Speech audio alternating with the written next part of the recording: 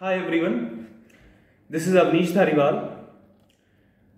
I qualified DGS and UPGS examination and today I am dealing with the legal issue of reservation of women in Indian Parliament.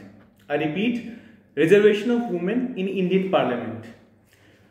क्या women को parliament में reservation मिलना चाहिए ये topic बहुत बार जो है जुडिशियल एग्ज़ाम्स में और सिविल सर्विस एग्ज़ाम्स में पूछा गया है ऐसे पेपर में और आर्टिकल राइटिंग के लिए बार बार इस पर क्वेश्चन आता है। इसमें जो है एक्सटेंड करके भी आपसे पूछ सकते हैं कि are you a supporter of women's reservation parliament क्या पार्लियामेंट जैसी सुप्रीम बॉडी में वुमेन के लिए रिजर्वेशन होना चाहिए?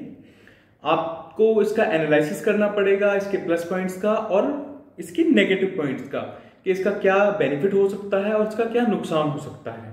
Then you are suppose to give your opinions so it's a very important topic now coming to the first issue of this topic इसमें दो issue हैं। पहला इश्यू ये है कि women why should women be in parliament second issue ये है कि पार्लियामेंट जो कि एक सुप्रीम बॉडी है, उसमें क्या हमें रिजर्वेशन रखना चाहिए?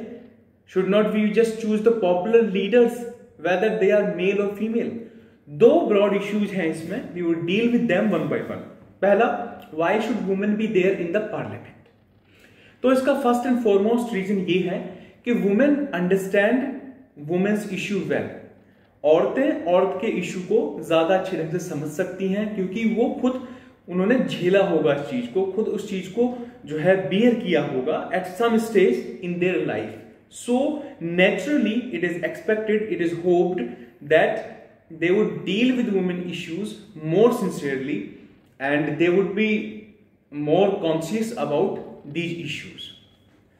हमने देखा कि इंडिया में बहुत एक लंबे समय तक जो है, बहुत सारे वुमेन से रिलेटेड इश्यूज़ थे, जैसे कि वुमेन की एजुकेशन है, और जैसे कि सेक्सुअल हेरसमेंट है वुमेन का टीजिंग है, या अदर क्राइम्स इन्हें लेकर बहुत लंबे समय तक बहुत सीरियसनेस नहीं दिखाई गई कहीं ना कहीं.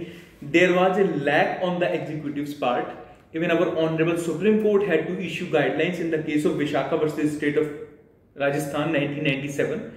उसमें बहुत डिटेल गाइडलाइंस सुप्रीम कोर्ट को इश्यू करनी पड़ी। उसका रीजन यही था कि एग्जीक्यूटिव की तरफ़ से इन एक्शन था। एग्जीक्यूटिव कोई ठोस एक्शन उस पर नहीं ले रहा था और वो एक बड़ी प्रॉब्लम थी। इसी ढंग से ईव टीजिंग की हम बात करें तो बहुत सारे बड़े शहरों में ये बहुत बड़ी दिक्कत है। Women are very much affected by it Delhi में सिचुएशन फिर भी बहुत बेटर है, लेकिन बाकी जगह पर सिचुएशन बहुत खराब है। कहीं ना कहीं ये इश्यू है जो कि लिया जाना चाहिए ज़्यादा सीरियसली इसी ढंग से फीमेल एजुकेशन की जब बात आती है, दो सिचुएशन बहुत इंप्रूव हुई है but still many parents don't want to give high education to their female children male children के लिए वो ज़्यादा जो है खर्च करने को तैयार रहते हैं फीमेल के लिए उतना वो जो है रेडी नहीं रहते हैं। तो ये इश्यू है।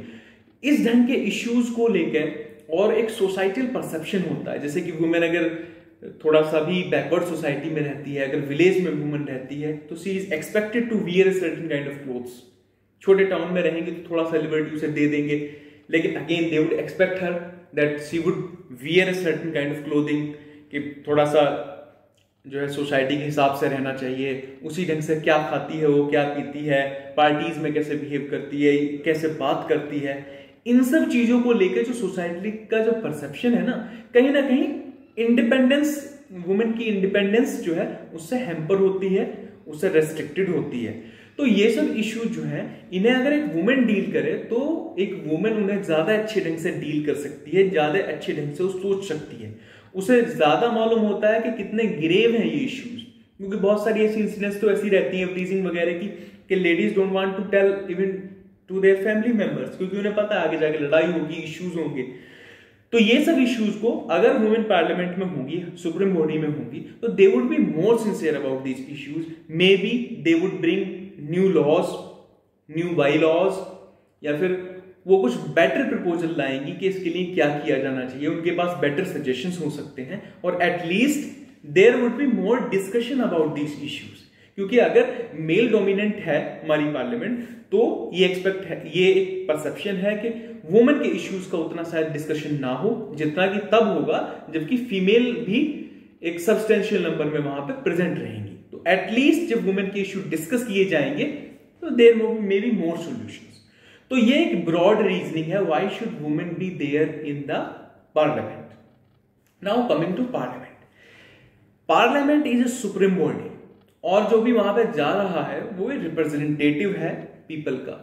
तो that representative should be a popular personality now अगर हम वुमेन को रिप्रेजेंटेशन देते हैं सपोज़ 33 परसेंट रिजर्वेशन या 20 परसेंट रिजर्वेशन जो है एट ए मिनिमम हम देते हैं वुमेन को then what happens what may happen I must is that women may just work as a proxy for their husbands suppose करो जो मेरा डिस्ट्रिक्ट है या फिर कोई और डिस्ट्रिक्ट है सपोज़ दर मुरादाबाद या बरेली या फिर मेरठ डिस्ट्रिक्ट है सपोज़ करो कुछ डिस्ट्रिक्ट चुन लिए गए और उन्हें वुमेन की सीट बना दिया गया कि only women would be selected from these these constituencies तो लोग क्या करेंगे? लोग अपनी वाइफ्स को, अपनी मदर्स को, अपनी सिस्टर्स को प्रॉक्सी कैंडिडेट बना देंगे और प्रचार उनके लिए उनके हस्बैंड ब्रदर्स वगैरह ही करेंगे और जो रियल पावर भी एक्सरसाइज करेंगे उनके हस्बैंड ब्रदर्स वगैरह ही करेंगे। Just as a proxy the women would be there in the parliament बस हाजिरी के लिए उसका नाम रहेगा। तो वो सिचुएशन हो सकती है। पंचायत में हम देखा गया है कि ये सिचुएशन बहुत जगह एग्जिस्ट करती है। कुछ बहुत बोल्ड लेडीज़ भी आई हैं जिन्होंने की अच्छे स्टेप्स लिए हैं। But there are many proxies too तो वो सिचुएशन अगर पार्लियामेंट में हुई तो फिर वो बड़ी प्रॉब्लम है। क्योंकि पंचायत एक बहुत छोटा सा हिस्सा है देश का, जिसकी बहुत लिमिटेड पावर्स हैं। पार्लियामेंट में जो, जबकि जो है parliament is a huge body supreme body तो वहाँ पर हमें प्रॉक्सी नहीं चाहिए। We actually need people who are conscious of the people's problem हमें पॉपुलर लोग चाहिए, हमें प्रॉक्सी नहीं चाहिए। तो ये नुकसान हो सकता है कि ठीक है, एक पर्सन खड़ा नहीं हो सकता, अपनी वाइफ को खड़ा कर देगा सिस्टर को खड़ा कर देगा।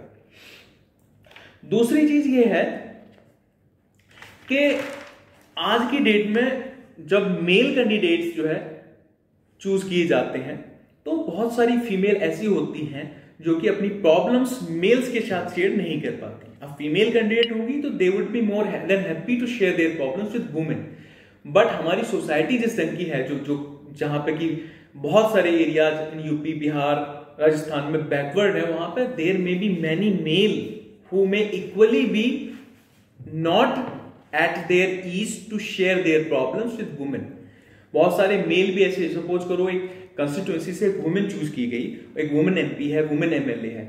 अब उस कंस्टिट्यूंसी में बहुत सारे मेल भी ऐसे होंगे जो इतने कंफर्टेबली अपनी प्रॉब्लम्स को एक वुमेन के साथ डिस्कस नहीं कर पाएँगे।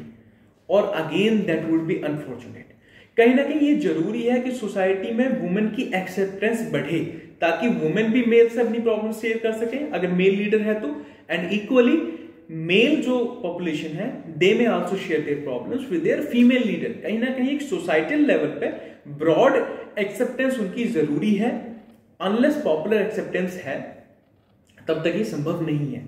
तीसरी बात यह है कि अगर सिर्फ़ इसलिए एक वुमेन सेलेक्ट की गई कि वो फीमेल है और वो पॉपुलर नहीं है उस एरिया में, उसके लोगों से कनेक्टेड नहीं है, ज़्यादा उस टच में नहीं है उस एरिया के तो again she may not understand what are the problems of that region शायद वुमेन की प्रॉब्लम आप समझ ले because of being a women but she may not be able to understand many other problems unless she has actually visited her constituency जब तक कि उसने widely interact ना किया लोगों के साथ, जब तक कि वाइडली जो है, वो अवेयर ना हो सराउंडिंग्स है, वहाँ के व्यवसायी, जो जो वहाँ की जॉब्स जॉब सीकर्स हैं, जो वहाँ के जो है बिजनेसमैन हैं, जो वहाँ के बस्तियाँ हैं झुग्गीज हैं, वो सब प्रॉब्लम्स को एक बार जिसने देखा नहीं है एक भी बार तो वो उन्हें नहीं समझ सकता। तो वुमेन का पार्टिसिपेशन भी बढ़ना चाहिए। अगर without increasing their participation in politics अगर बिना उनका पॉलिटिक्स में पार्टिसिपेशन बढ़ाए उन्हें चूज़ किया जाता है तो they may not be able to understand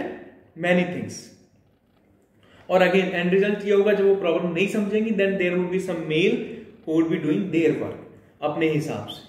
And again problem would again get complicated तो ये सब चीज़ें हमें इस ध्यान में रखनी होंगी. Now I am not going to give an answer कि आप को इसका सपोर्ट करना चाहिए या इसका जो है अपोज इसे अपोज करना चाहिए. You should have your own answer क्योंकि अगेन मेरा वीडियो सुन के आप लोग जो है, फिर वही रटा रटाया आंसर जो है लिख के आओगे which is not good I think अगर आप जो है आप कहते हो कि no reservation should not direct reservation should not be there in parliament तो आपकी रीजनिंग ये हो सकती है कि देखो, आप इनडायरेक्टली वुमेन को प्रमोट करो पॉलिटिक्स में आने के लिए। इनडायरेक्टली कैंपेनिंग करो सिविल सोसाइटी वगैरह के साथ मिलकर मोर ओवर एजुकेशन पर लोगों को ध्यान दो। पॉलिटिक्स को एक बेटर फ़ील्ड बनाओ, जो कि कहते हैं ना पॉलिटिक्स गंदा फ़ील्ड है तो उस फ़ील्ड को क्लियर करो, उस फ़ील्ड को ज़्यादा बेटर बनाओ। That is may that may be one reasoning to say that direct reservation नहीं बट इनडायरेक्टली आप प्रमोट करो उन्हें ताकि उनकी पॉपुलर एक्सेप्टेंस बढ़े। दूसरी तरफ़ अगर आप सपोर्ट करते हो तो आप रीजनिंग ये भी दे सकते हो कि देखो इनडायरेक्टली जो है प्रमोट करना उतना इफिशियंट नहीं रहता है। इतने सारे सालों में बहुत ज़्यादा कुछ अचीव नहीं किया है वुमेन के इशू अभी भी जहाँ के तहां है इवन आफ्टर विशाखा का जजमेंट बहुत सी जगह अभी भी सेक्सुअल हरेसमेंट की प्रॉब्लम है। तो direct reservation would certainly make a change that may be your reasoning और और भी आप जो है, इससे हटके भी कोई आपके दिमाग में कोई रीजनिंग आती है, कोई थॉट्स आती है तो you may put it but be clear about your reasoning without reasoning एक कंक्लूजन मत देना। जब भी एक रीजनिंग दोगे तो एक उसकी, जब भी कंक्लूजन दोगे तो उसकी पर्टिकुलर रीजनिंग रख के आप वो करो।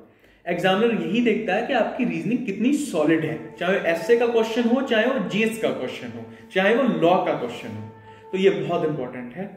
So I think that's all for today apart from that बाकी स्टेट्स के जो एग्ज़ाम्स हैं कर्नाटका है मेघालय आसाम हैदराबाद एपी गुजरात तो आपके स्टेट्स में जो भी जीएस या एसए के जो टॉपिक्स हैं, आप उन्हें कमेंट में मेंशन कर सकते हो। I would be more than happy to have thank you very much